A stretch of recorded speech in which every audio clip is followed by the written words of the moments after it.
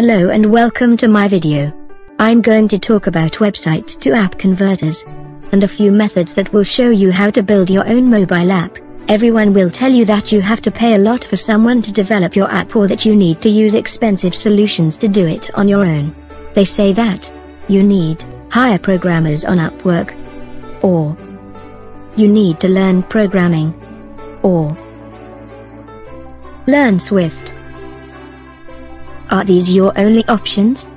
Well, that what at least they tell you, but there must be a way you can do things differently. What are you missing?